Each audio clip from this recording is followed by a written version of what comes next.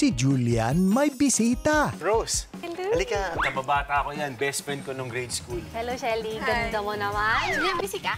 Bakit? Gusto lang sana kitang makabanding. Alam mo, hindi naman ako nagsiselos kay Rose. Pili ko safe siya. Sure ka, girl? Kayain natin yung mag-shotang dayo.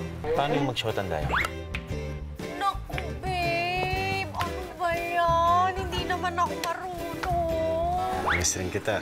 Ba't di mo ako niligawan nun? Happy together.